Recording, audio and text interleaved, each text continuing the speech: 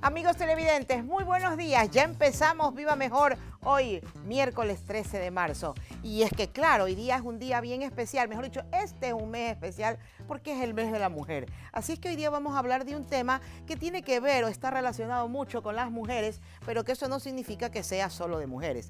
¿De qué vamos a hablar? Del Papa Nicolau, la citología que se puede aplicar tanto a la citología vaginal como a otro tipo de, citologías. Lo que quiere decir que no solo las mujeres nos podemos realizar un Papa Nicolau, no, los hombres también se pueden realizar un Papa Nicolau. Y a lo largo de este programa vamos a hablar de eso, así que no se asusten caballeros, que usted me está oyendo y me dice, yo, un Papa Nicolau, ni loco. No, yo a ver qué sitio lo puede realizar. Pero claro, no vaginal, de otro tipo de citología. Así es que para eso hemos invitado el día de hoy a un especialista en patología, a quien presentaré luego, y vamos a hablar con él de qué recomendaciones tienen, que tener las personas antes de hacerse un Papa Nicolau y qué es lo que vamos a diagnosticar con este examen, que es un examen que no duele, que no es muy costoso, que es más o menos algo como que de rutina que tenemos que tener. Así es que esténse atentos porque el tema es muy interesante. Así es que quiero invitarlos a que vean una nota para que ustedes sepan un poco más de qué es lo que vamos a tratar el día de hoy acerca del Papa Nicolau. Vamos por favor con la nota.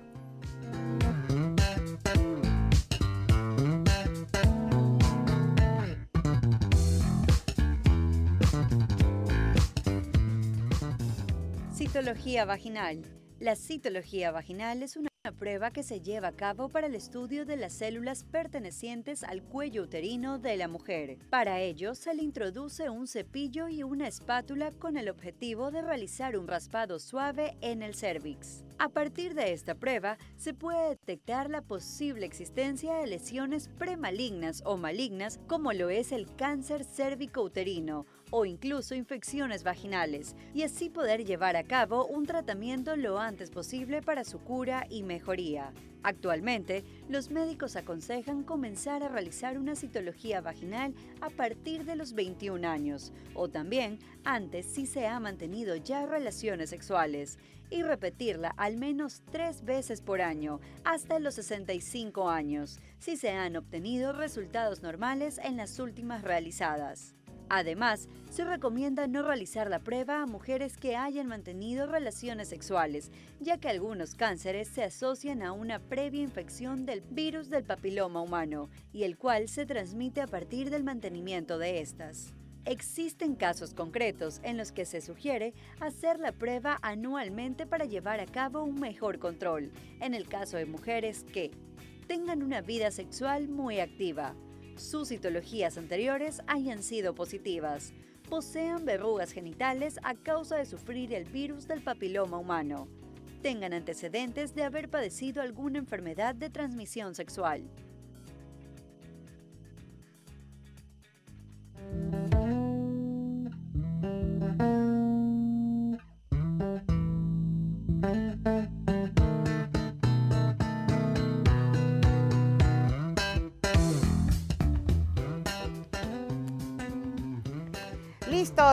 De regreso aquí en Vivo Mejor y muchísimas gracias porque esa nota muy ilustrativa, pero claro, hablábamos más que nada de la citología vaginal, del Papa Nicolau, que como bien lo decía la nota, es un examen riguroso que tenemos que hacernos las mujeres desde el momento en que hemos tenido nuestra primera relación sexual, sí, sin importar la edad. Así es que una, una mujer de 13, 14 años que ya empezó a tener vida sexual activa debe hacerse un Papa Nicolau por lo menos una vez al año. Si es una mujer que no ha tenido relaciones sexuales y que es virgen y ya pasa de los 30, también es importante que se haga. ¿Por qué? Porque el cáncer de cervix, que es el que tratamos de pesquisar con este examen, es precisamente lo que queremos eh, diagnosticar, o mejor dicho, debemos de descartar. Y si la mujer tiene más de 30 años y no ha tenido relaciones sexuales, podría perfectamente también tener este tipo de patología. Así es que vamos a hablar a lo largo de, esta, de este programa de este examen. Ahora, yo les había dicho al inicio que el Papa Nicolau no es un examen exclusivo de las mujeres. La técnica se llama de Papa Nicolau, que son una serie de extinciones especiales que con esa técnica teñimos las células, vamos a suponer, de una orina. Entonces, un hombre se puede hacer un Papa Nicolau o una citología urinaria. Si tenemos algún problema en el oído medio o en las fosas nasales, nos hacen una toma de la secreción. Y eso también es un estudio citológico que se hace por Papa Nicolau. Esa secreción, tanto del oído como de las narices, la podemos hacer en hombres, en mujeres, en niños, en, ancianos, de tal forma que ese es otro examen de Papa Nicolau, pero ya direccionado hacia las fosas nasales, direccionado hacia la cavidad óptica o la cavidad auditiva. Y así tenemos muchos, muchos otros exámenes más. Así es que con esto quiero invitar los amigos televidentes a que veamos una, vamos a irnos a una pausa para después de esta presentar a nuestro invitado que ya está llegando. Así que los invito a la pausa. Ya regresamos en un momento.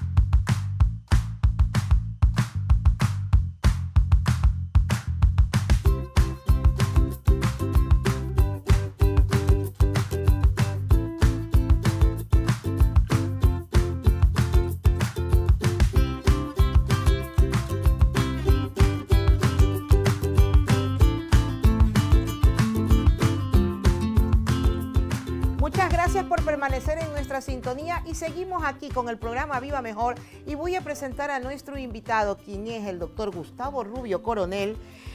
El doctor Rubio es doctor en medicina y cirugía de la Facultad de Ciencias Médicas de la Universidad de Guayaquil. Hizo su posgrado de anatomía patológica aplicada a microscopía electrónica en la Universidad de Tohoku en Sendai, Japón y en el Hospital Nacional de Sendai. Ha realizado cursos internacionales de anatomía patológica en la Universidad de John A. Burns en Honolulu, en Hawái, de patología quirúrgica aplicada a microscopía electrónica en la Universidad de Wayne State University en Detroit, Michigan, en Estados Unidos especialista de anatomía patológica de la Facultad de Ciencias Médicas y de la Escuela de Posgrado de la Universidad Católica de Santiago de Guayaquil y tiene una maestría en Gerencia y Administración de Salud en la Facultad de Ciencias Médicas de la Universidad de Guayaquil. Doctor Rubio, bienvenido a este su programa Viva Mejor. Muchísimas gracias por haber aceptado nuestra invitación. Le agradezco mucho, eh, doctora Gila Moncayo. Es para mí un grato placer y honor estar en su programa eh, para poder eh, compartir con el público nuestras experiencias en, esta área, en esta rama. ¿no? En esta rama en la que usted es súper recontra que hiper estudioso, yo sé. Eh, así es que sí, ya les había adelantado yo a los amigos televidentes que vamos a hablar de la citología vaginal del Papa Nicolau, pero que también tenemos ese examen que lo podemos dedicar a otro tipo de estudios, ¿no? Y que los hombres también se los pueden realizar. Pero vamos a, quiero que ahorita, como es el mes de la mujer, doctor Rubi, y usted lo sabe, ahora en marzo, el 8 de marzo celebramos el Día de la Mujer, entonces quiero dedicarle un poquito más de énfasis a ese examen de Papa Nicolau que las mujeres tenemos que realizarnos rigurosamente mínimo una vez al año y que bueno, ya les había dicho yo también que eh, la primera condición que una mujer tiene que tener para realizarse un Papa Nicolau es que no importa la edad, eh, este examen se debe realizar desde el momento en que las mujeres comienzan a tener actividad sexual. ¿Es así o me estoy equivocando, doctor Rubio? Eh, es, correcto. realmente el a partir de, la primera relación sexual es, más propenso la mujer a tener mayor eh, tipo de infecciones, eh, que van a contaminar por, el asunto de la defensa del imen, pero naturalmente a partir de ese momento ya, la puerta está abierta para naturalmente tener cierto tipo de posibilidades de que se infecte. A veces una autoinfección por, por asunto de cómo se asea la mujer, eh, es decir, de atrás o sea, hacia las adelante. mujeres estamos más propensas a tener infecciones vaginales eh, desde el momento en que la vagina está muy cerca al, al como es al ano. Sí. Entonces, obviamente, eh, hay un arrastre de bacterias si es que no hubiese una buena limpieza o una limpieza Adecuada. así, no, eh, no hecha adecuadamente. O sea, Ajá. que la mujer se limpie de atrás hacia adelante cuando lo correcto es hacerlo de delante hacia atrás, ¿verdad? Así es. Entonces, para evitar el arrastre de esas bacterias. Entonces, Exacto. Entonces, eh, las vías urinarias también son claro. otra forma de co- eh, contaminación. Al bajar hacia la vagina, eh, eh, eh, se queda en, la vulva y cuando se estanca algún tipo de secreción, así sea de la misma persona, potencialmente puede generar bacterias, hongos, como monilias, ¿no? Entonces, eh, que son es los más frecuentes. Creo que las infecciones más frecuentes son por Sí. monilias, o sea, hongos y. Garnerela. Ah, bacterias que es una garnerela. Carnerela Ahora, y eh, eh, bacterias y monilias eh, o candida albicans en, Claro. en hongos. y doctor Rubio, dígame algo. Y aquí en nuestra ciudad, en nuestra, en nuestra costa ecuatoriana, que tenemos una, un clima muy húmedo, ¿verdad? Y ahorita que estamos en temporada invernal, más húmedo todavía, en que las mujeres nos ah, vamos a la playa y andamos con el pantalón, muchas veces a- el pantalón de baño apretado y mojado tanto tiempo, yo me imagino que estas infecciones se van a exacerbar, van a aumentar su eh, productividad, por así decirlo. Entonces, yo pienso que este es el tiempo en el que la mujer debe de cuidarse más. ¿Es, así o no es así? Claro. El, el- así sea eh, cualquier tipo de agua, eh, eh, sea de mar, salada o, o, agua dulce en una piscina, si es que no se asea de una manera adecuada posterior a bañarse o quedarse todo el día sin cambiarse claro. con, de su pantalón de baño o, o su prenda íntima, entonces potencialmente también eh, el- se va a represar mucho tiempo. Claro. esa- Habría más propensión. Y hay una mayor eh, eh, posibilidad de que, esa, eh, que algún germen que, que haya estado en contacto en la arena o, o si no en, en- La en el agua, pues pueda quedarse en la vulva eh, y, y- y después sí, introducirse hacia la vagina. Claro, o sea, las mujeres lo que tenemos que evitar es estar demasiado húmedas en nuestra zona íntima, porque precisamente esa humedad es la que va a hacer que las monilias o los hongos crezcan Proliferen. más, proliferen, correcto. Entonces eso nos va a dar pues cierto tipo de secreción. ¿Cómo sería más o menos esa secreción cuando es producida por hongos o por bacterias? Y- Porque me imagino que son Claro, diferentes. claro. El, eh, la monilia o Candida albicans es como una nata cortada. Es Leche como, cortada. Es lechosa, es, es como una nata cortada y, y no es maloliente.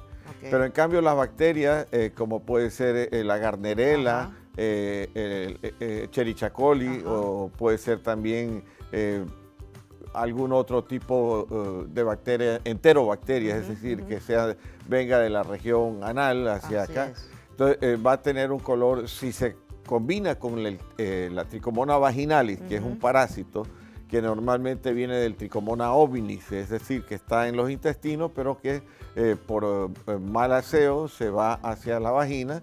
Entonces, eh, eh, esa combinación de este parásito, la tricomona Con las vaginalis, bacterias. con las bacterias, eh, da una secreción amarillo verdosa y maloliente. Muy maloliente. Ajá. Ya. Entonces, las, las secreciones vaginales, quiero puntualizar esto, pueden ser monilias, que son las más frecuentes, los hongos por la humedad, que es una secreción así como que de leche cortada, la secreción amarillenta, que sería solo de bacterias, y la secreción verde amarillenta, donde ya hay el compromiso de un parásito más la bacteria. Ahora, podrían haber los tres gérmenes también, pues, ¿no? Naturalmente, eso- Parásitos, bacterias y hongos, Claro. que ahí ya pues sería una, secre- una, una vulvovaginitis, Sí, o sea, una sí. infección sumamente Y- y- fuerte. Ahora, el, el problema de esto es que si no se diagnostica a tiempo Claro. y no se hace el tratamiento a tiempo, se va a complicar con un problema de tipo eh, urinario, ¿no? Claro. Entonces, por ejemplo, ahí ya interviene eh, eh, por una infección retrógrada, eh, puede llegar estas bacterias o estos parásitos,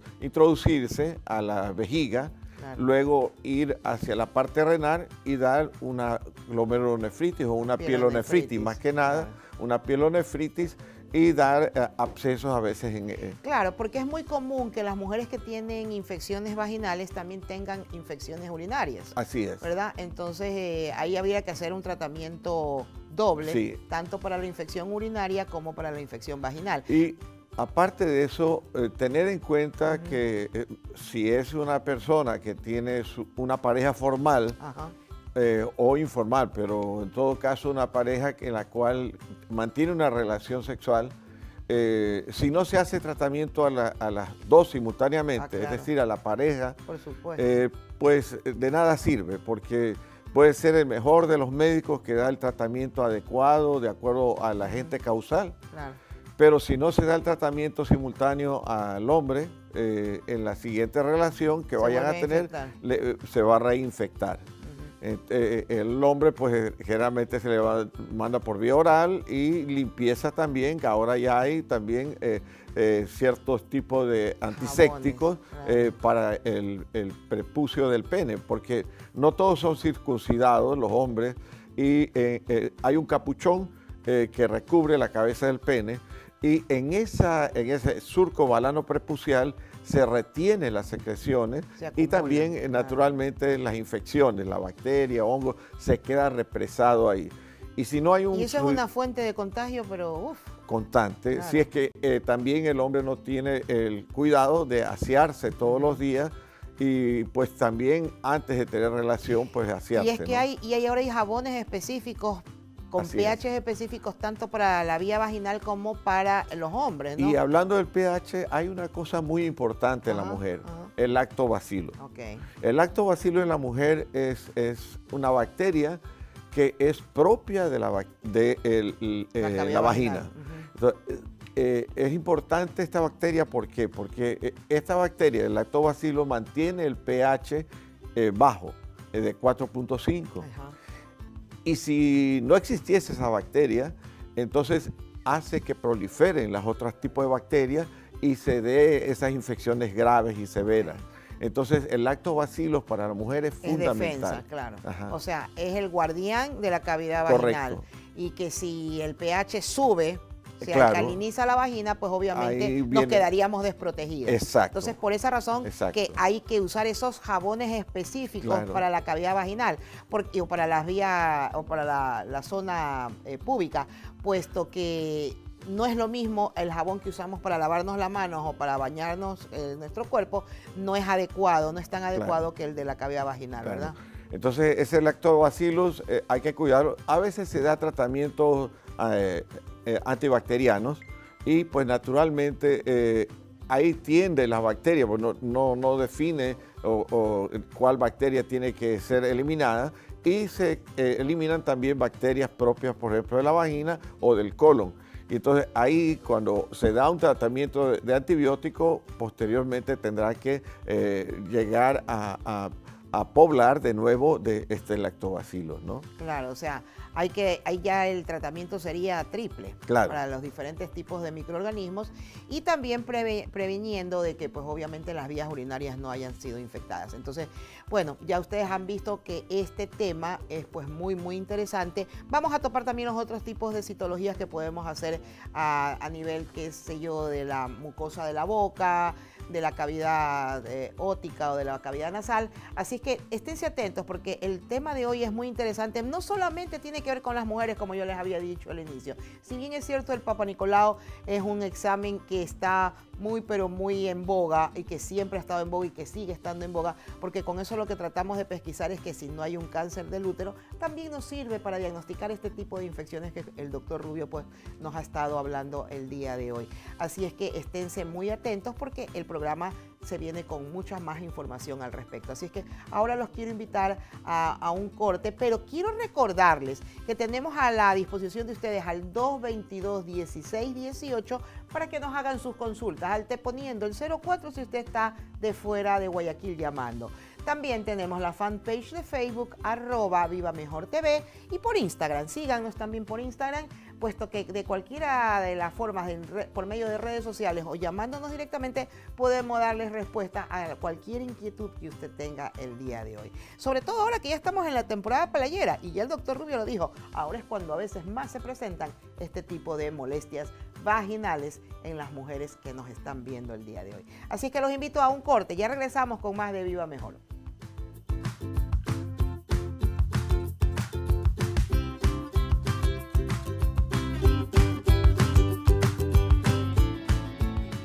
¿Sabías que una mujer que ya inició su vida sexual debe acudir cada año por lo menos una vez a realizarse la citología vaginal?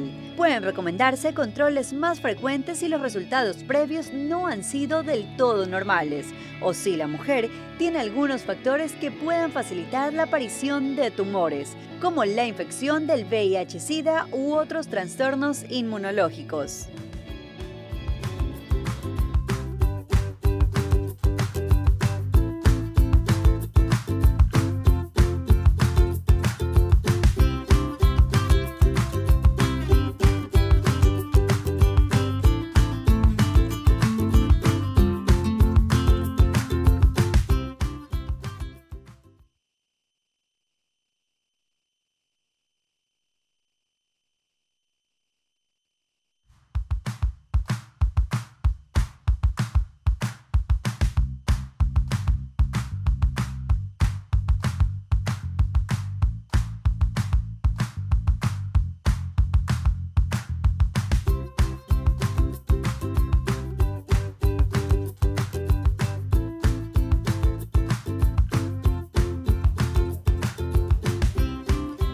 Estamos de regreso ya aquí en Viva Mejor. Estamos hablando acerca de la citología vaginal, el Papa Nicolau. Vamos a, realizar ahora unas preguntas de mitos que tenemos muchas veces en relación a esta prueba y este examen. Recuerde, 04222-1618. Doctor Rubio, tengo un primer mito que me dice, no debo tener relaciones sexuales un mes antes de realizarme el Papa Nicolau. Bueno, el tiempo no me parece exagerado. Exagerado. ¿no? exagerado. Sí. Realmente unos dos o tres días antes, Antes. es suficiente. Y, y igual tener eh, el aseo suficiente eh, para Adecuado, acudir a donde el médico. Naturalmente no exagerado el aseo eh, eh, previo a, a- para que si hay alguna secreción pues ser captada y poder observarse al microscopio en el momento en que se hace la toma de los frotis, ¿no? Claro, porque es que el aseo es solamente de, la- de los genitales externos. Claro. Internamente no debemos Claro. de ponernos ninguna ducha vaginal. es nada. Sí, no nada se debe ver. hacer Sí. eh, eh, que se coloquen óvulos un día antes, por ejemplo, de, ir a donde eso está eh, totalmente. O sea, las relaciones sexuales unos tres días antes y no aplicarse ningún tipo de óvulos intravaginales también por lo menos un día antes. Claro. Ya, y tengo otro mito, doctor Rubio, el segundo, que me dice, la menstruación no es un problema en caso de que yo me tenga que realizar un Papa Nicolau. Eh, sí es un problema si es que está eh, eh, en los primeros días, ¿no? Claro. Eh, terminando o antes de la menstruación no hay, no hay ningún inconveniente, pero durante la menstruación no es No, adecuado. no es adecuado. Porque naturalmente el frotis saldría demasiada sangre, ¿no? Demasiado Entonces no- esa sangre y nos va a enmascarar la va a célula. enmascarar. Entonces no es adecuado eh, durante la menstruación hacerse la toma. sí. Perfecto. Tenemos una llamada en este momento. Vamos a contestarla. Hola, ¿cómo está? Muy buenos días. ¿De dónde nos está llamando? Buenos días, doctores. Eh, Les felicito por el programa. Les, sal- Muchas les saludamos desde la ciudad de Quito. Ah, qué bien, gracias. Gracias Eh, por su mi nombre es Margarita, Margarita. Suárez. Muy bien, mucho gusto, Margarita. Gracias por estar en nuestra sintonía y por llamarnos. Díganos, ¿en qué la podemos Gracias. ayudar? Doctorita y al doctor también quisiera hacerles una preguntita, puesto que estamos muy preocupados con un familiar. Este, de acuerdo al programa sobre el problema de, mm, del útero, se hizo unos exámenes eh, mi pariente hace un año. Y en ese año le dieron tantas vueltas en el hospital del seguro que le dieron una cita médica al año y un mes. Y ahora le sale, doctorita, que tiene en el examen de una biopsia y, y le- la colposcopía, le sale un caso de un condiloma. Ahora, doctorita, por favor, ayúdennos que esta tristeza y este dolor sea un poco más pasivo porque todos estamos muy contrariados. Si nos pueden ayudar, doctorita, le agradeceríamos. ¿Qué edad tiene la paciente? ¿Perdón? ¿Qué edad tiene su familiar? Eh, tiene 70 años. Ya, ¿y le han detectado es un papiloma o condiloma? Condiloma. Condiloma, ok. A nivel del cuello del útero. Eh, no en el cuello, parece que está por en dentro del, del en útero. En la vagina, en la vagina o adentro. Sí. En vulva, ya, en vulva de ser. Ya, perfecto. Quédese tranquila que ya vamos a ir al experto a ver qué nos dice. Y muchas gracias por su sintonía y por estar atentos a este programa. Ya le vamos a contestar, Margarita. A ver, doctor Rubio, una paciente ya menopáusica, eh, bueno, que luego de un año de haber solicitado una cita le encuentran en una biopsia, pues, un condiloma.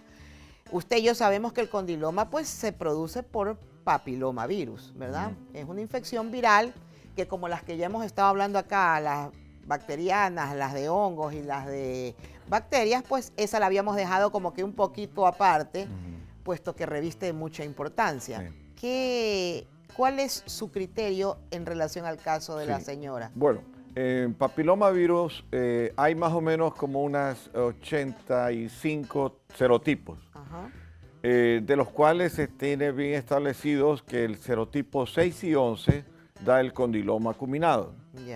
Y las verrugas. Eh, que las verrugas genitales. Eh, es frecuente encontrarla en, las regiones húmedas, que vienen a ser las vulvas, la región perianal y algo también en el hombre, en el prepucio. Esta serotipo, el, 6 y el 11, afortunadamente no son cancerígenos. Es muy raro que se, eh, salvo que haya una, eh, otro tipo de reinfección y que dé eh, un serotipo 16 y 18, que esos sí son cancerígenos. O sea, habría que determinar qué cepa es la que tiene la paciente para saber si está propensa a tener o no la cepa cancerígena o la que da verrugas. ¿Qué pasa en el primer caso que fuese la que da verrugas? La que da verrugas, afortunadamente, tiene un curso benigno, totalmente benigno. Se extirpa la lesión y se acaba la lesión y el problema eh, quedó totalmente erradicado porque afortunadamente no es un virus oncógeno eh, eh, oncogénico, pues eh, el, el, serotipo 6 y 11 es el que está bien determinado que dan Solo da verrugas. condiloma acuminado. En la región y en el caso de que Sea el 16-18 que es oncógeno, o sea que en cualquier momento se podría desencadenar un cáncer. El, el, serotipo, el papilomavirus de serotipo 16 es, en el 80% de los casos da cáncer. sí, es muy da cáncer de, en o Es una incidencia elevadísima. Muy si tiene el papiloma 16 de aquí a menos de un año va a tener un cáncer. Eh, eh, correcto. Eh, el serotipo 18, que es el segundo en, importancia, pues naturalmente el 15% aproximadamente desarrolla cáncer. Desarrolla cáncer. Entonces,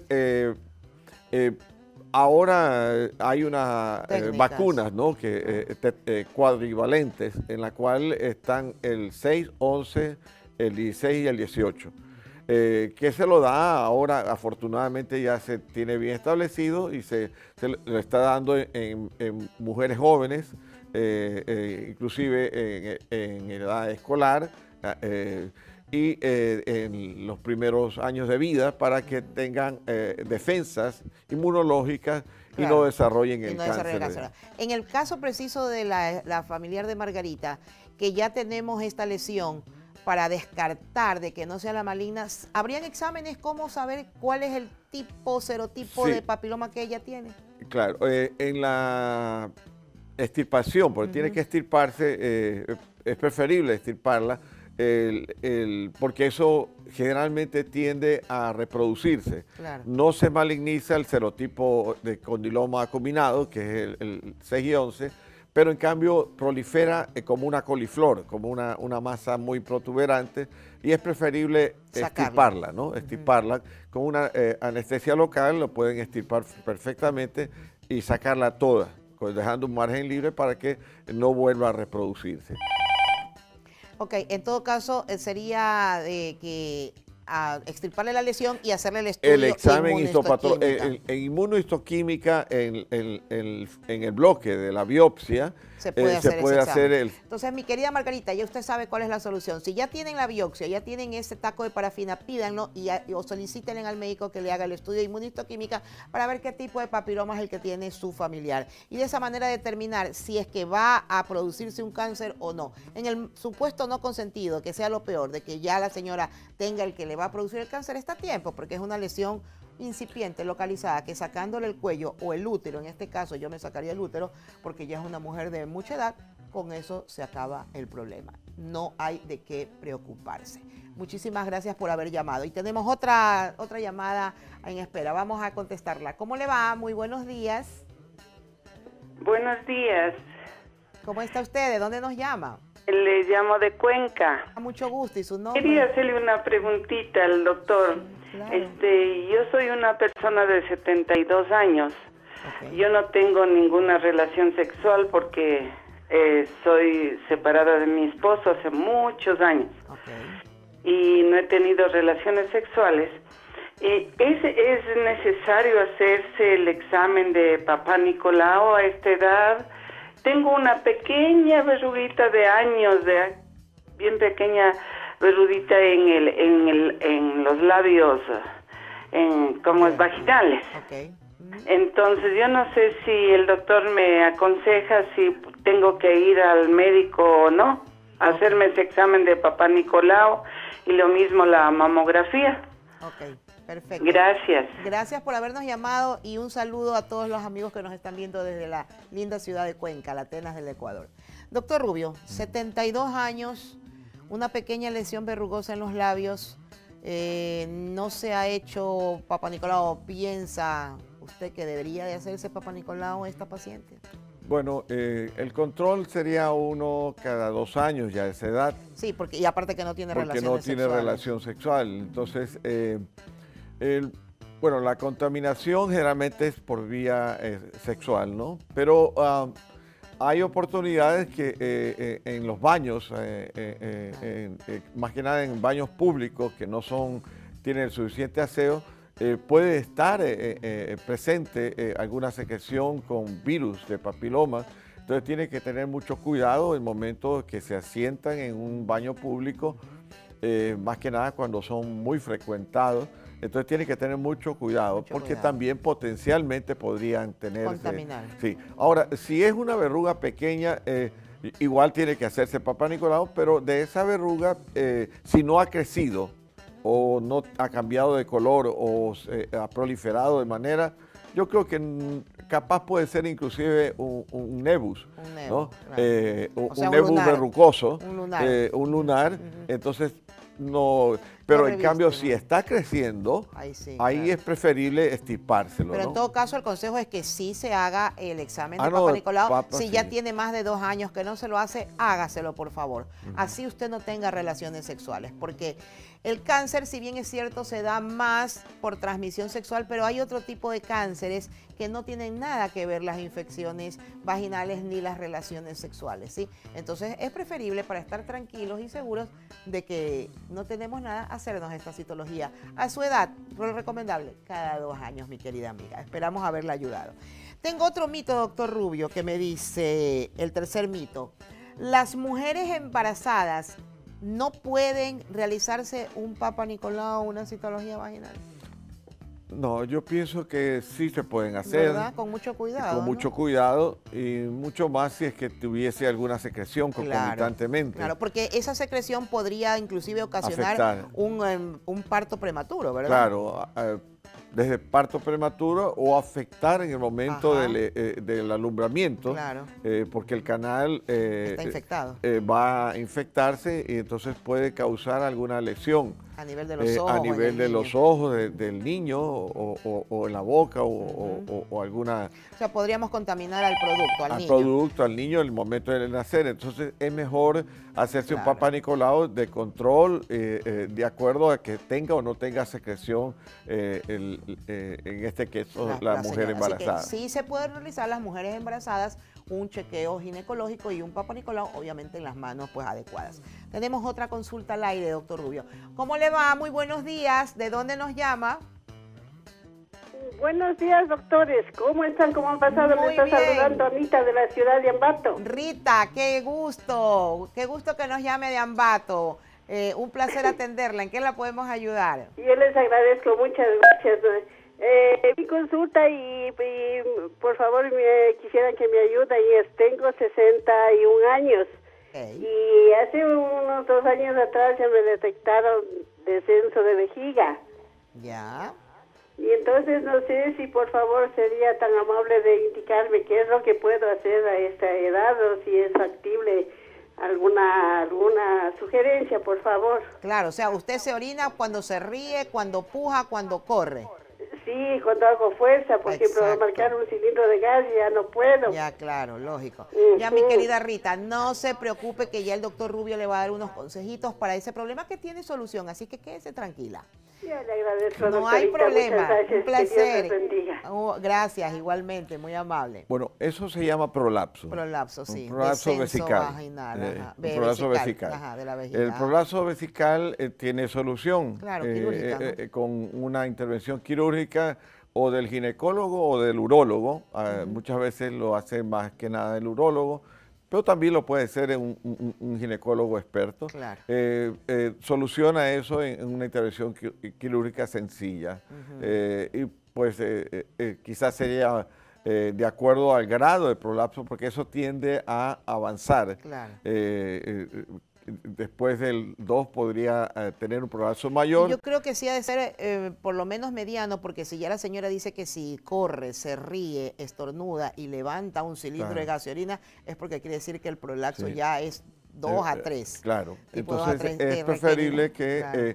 acuda donde el urólogo o a su ginecólogo. ginecólogo de confianza y pues ellos planifiquen eh, una intervención que no es co- compleja, no es complicada y que eh, si no es diabética la señora probablemente no va a tener ningún problema. Ningún problema. Con una cirugía muy sencilla se resuelve esto, mi querida amiga que nos está oyendo y que nos llamó desde Ambato. Así es que vaya, nuestro consejo es que vaya donde el especialista, donde su ginecólogo de confianza o donde un urólogo, porque lo que tienen que hacer es levantar, levantar un poquito esa vejiga que está descendida, que generalmente se nos desciende a las mujeres, ¿por qué razón? Primero, por la edad, ya tenemos 61 años. Segundo, debe haber usted tenido algunos hijos, de pronto tuvo sus hijos por parto normal. Entonces, todas esas son condiciones que hacen que esas estructuras internas nuestras se vayan como que estirando, ya se estiraron, entonces obviamente tienden a descender, pero se las vuelve y se las levanta.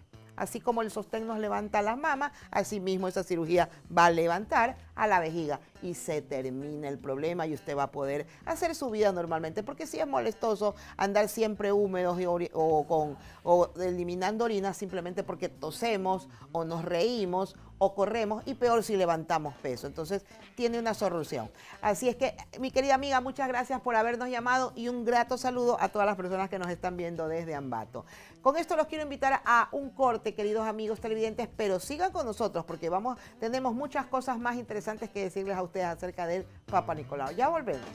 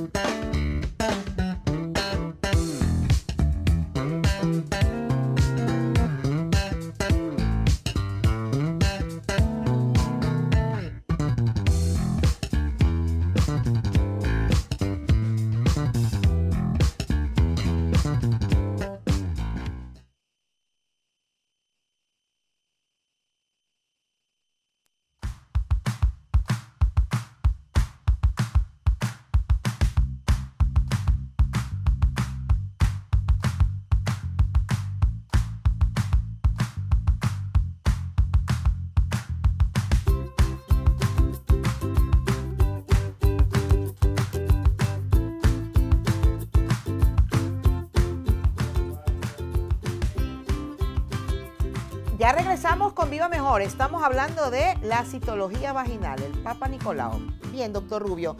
Eh, tenemos una nota que queremos eh, presentárselas a ustedes eh, acerca del tema que estamos hablando para después dar algunas recomendaciones y conclusiones de este interesante tema que hemos tratado el día de hoy. Así que vamos adelante con la nota producción, por favor.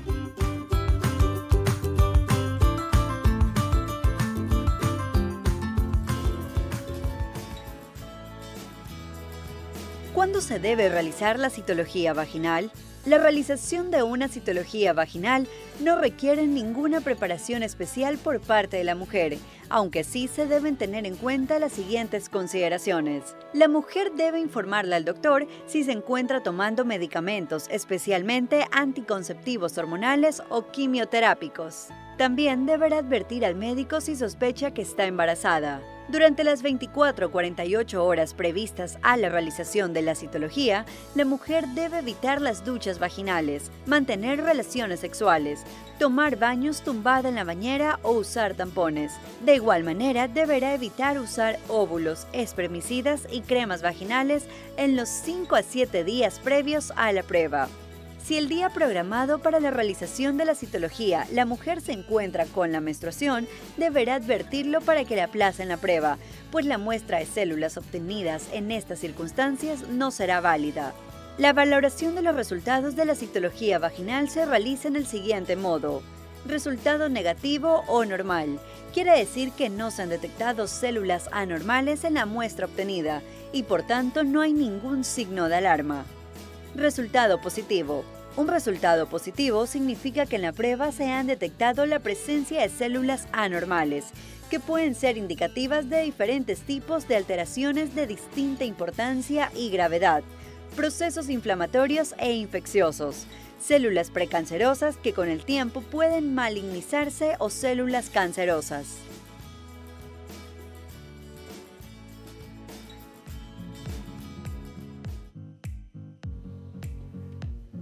Muchísimas gracias por esa nota. Recomendaciones muy valederas de que ya la habíamos hablado.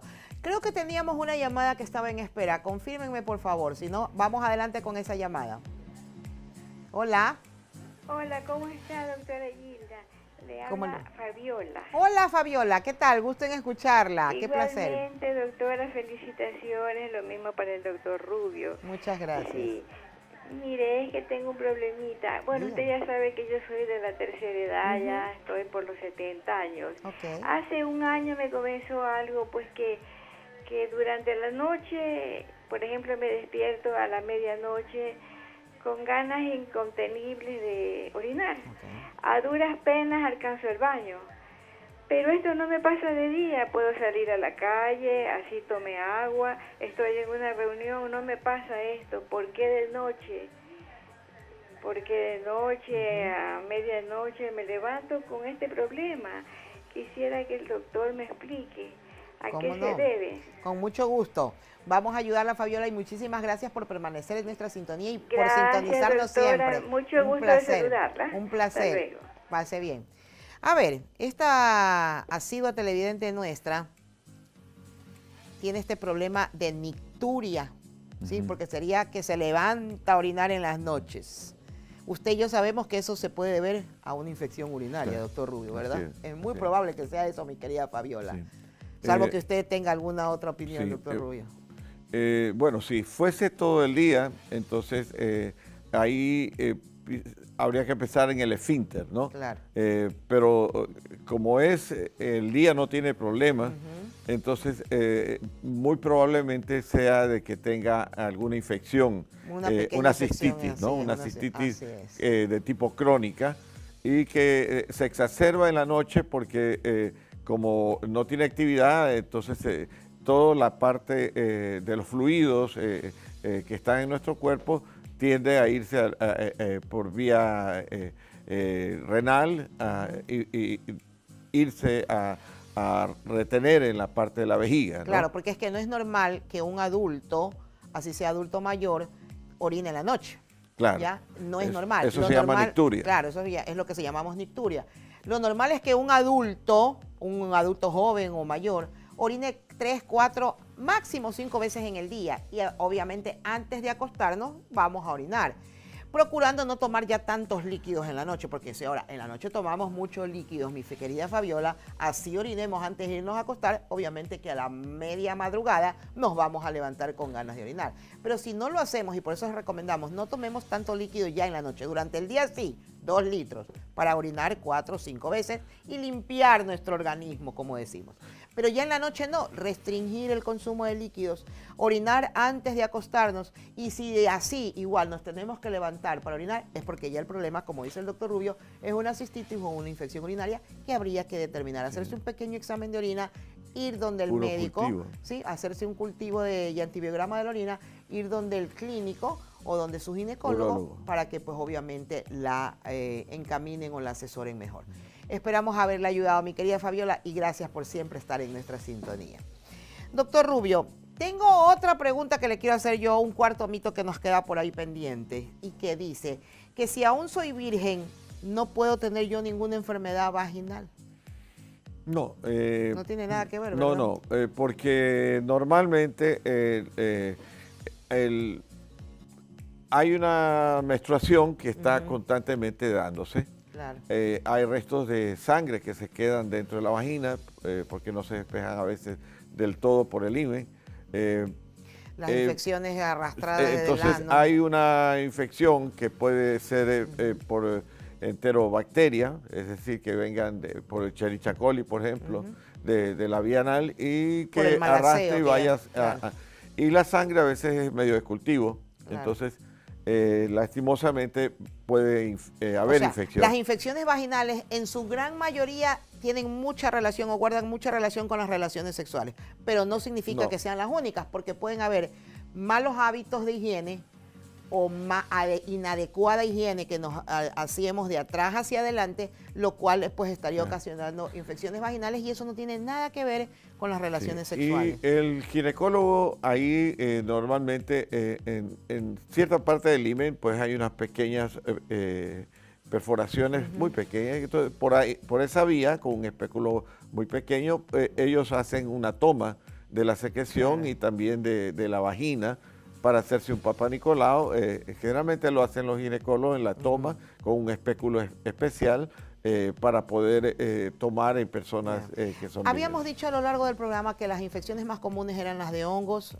en ese orden, hongos, bacterias, parásitos, pero también ahora tenemos al papiloma. Y quiero que hagamos un poquito de énfasis y sin delatarnos mucho porque el programa ya mismo se termina. Es, ¿Qué pasa con el papiloma, doctor Rubio? Cuando usted en un papá Nicolau, porque yo sé que usted diagnostica esto, si usted en un papá Nicolau ve ciertas células, porque no ve al virus, ¿verdad? Pero ve ciertas células que le dan a usted le dejan la huella, por así decirlo, marcado. Aquí estoy yo, papiloma virus, mírenme. O sea, porque estoy dejando esta huella aquí. Sí, sí, sí. ¿Qué es lo que usted hace? Eh, el momento que hay un eh, eh, contacto con el, virus de papiloma 16-18, ese virus generalmente entra por la parte superficial del epitelio, que es lo que recubre a la vagina o el cuello del útero, y se introduce y tiende en esa erosión o ulceración o en la unión del endocervi y exocervi internamente a reproducirse en la capa basal, que son las ya, pero en el Papa Nicolau usted ve unas células diferentes. Eh, se ven las células que están infectadas, que se llaman células coilocíticas. Ok, ve los coilocitos. Es decir, eh, son células que tienen un halo perinuclear y que tienen una transformación. Y eso es lo que lo, hace a usted poner en el eh, Papa Nicolau para que el ginecólogo esté alerta. Ojo, hay esta lesión en esta célula, lo que quiere decir que muy probablemente tenemos un HPV o papilomavirus. Sí, entonces tenemos el de alta eh, eh, probabilidad de malignidad y de baja probabilidad. ¿Qué pasa si es el de alta? ¿Qué otro examen podemos hacer? Eh, en ese caso, primero el Papa Nicolau para detectar esas células sospechosas de malignidad o malignas ya. luego colposcopía o sea, sacar una muestra de tejido. Se hace una biopsia eh, por la colposcopía, eh, se hace la prueba de Schiller generalmente y se eh, observa en la parte donde hay leucoplaquia, que es placas blancas, o eritroplaquia, que son placas rojizas, y se saca una biopsia, un tejido, parte del tejido que está lesionado. se manda a patología, nosotros en patología en el laboratorio se, se la procesa y eh, tipificamos si es de serotipo 16-18 y en eso eh, hacemos inmunohistoquímica, ¿no?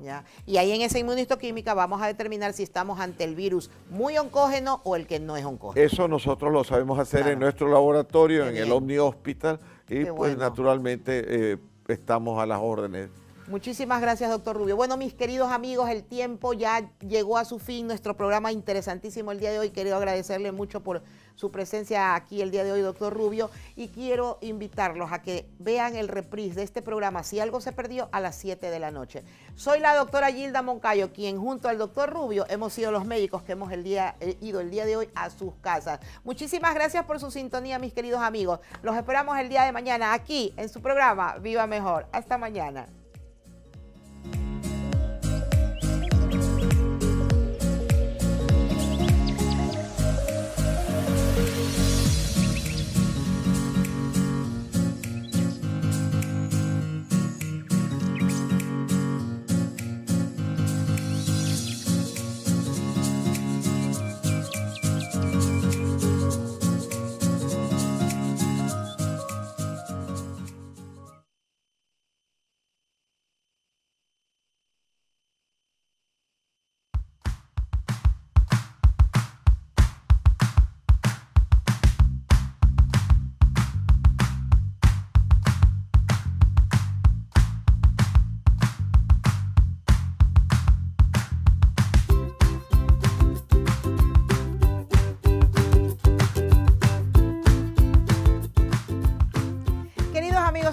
Soy la doctora Gilda Moncayo y quiero invitarlos a que sintonicen nuestro programa Viva Mejor de lunes a viernes de a las 9 de la mañana y nuestro reprise a las 7 de la noche aquí por su canal universitario, siempre con consejos muy útiles para usted y toda su familia de salud.